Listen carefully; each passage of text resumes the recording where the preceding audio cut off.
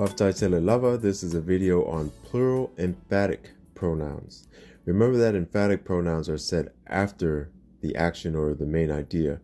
So if you wanted to say that we played in the game, in Samoan it would be na ta'alo, imato, mato, ile ta'alonga. Na is the past tense marker. Ta'alo is the plural form of play. So na ta'alo together is played, past tense play. Imato is the emphatic pronoun coming after the verb or the main idea, which is play, played. And then the prepositional phrase, which we'll discuss uh, later, uh, is in the game or ileta longa. Remember that you can combine a noun phrase type of sentence with action phrases that begin with tense markers. For example, instead of na ta'alo, imato ile ta'alonga, you could begin with a noun phrase and say, o imato na ta'alo ile ta'alonga. These are two separate phrases, actually three because there is a prepositional phrase in there, but a noun phrase and a verb phrase with a prepositional phrase. So it's still one sentence, but the phrases are rearranged. Instead of a verb phrase with a noun phrase following it, you can put the noun phrase in front of it in its proper format, o plus the emphatic pronoun imato. These sets of pronouns are used for three or more people. So what about here? The old man asks, Where did you all go? The mom replies, Sa nonofo i mato i lepotumoi. Sa nonofo i mato i. So where's the verb? The verb is nonofo, or the, that's the plural verb for sit or nofo. So this version of we is right after the verb nofo, and it's imato. Again, a lot of people omit the imato and just say mato, so it would be sa nofo mato ilipotumoi. And why did she use mato instead of tato?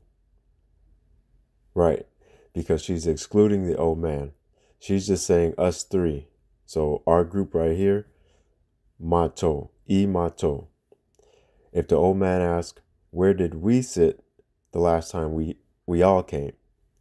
If they all sat in the room, including the old man, she would say, Sanonofo itato ilepotumoi. Sanonofo itato ilepotumoi. So that's all of them. That includes everyone, including the old man you all or y'all is said oto. That's the version that comes after the verb again. So you'll often hear people say oko and they'll spell it with a K and they'll say it with a K. So you three plus did a good job. It said nafaya ngalwenga lele oto. Nafaya ngalwenga lele oto. It can also be said na fire oto ngalwenga lele.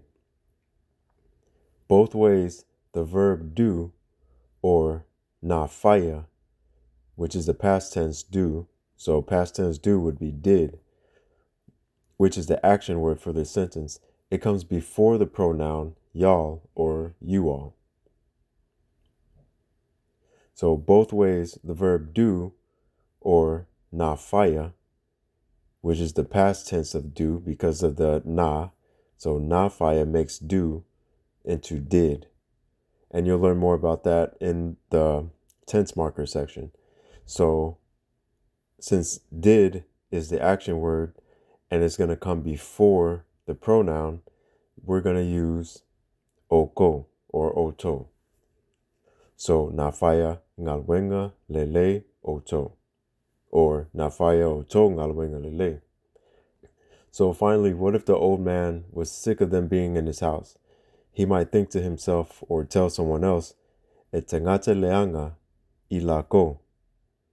Etengate leanga ilato.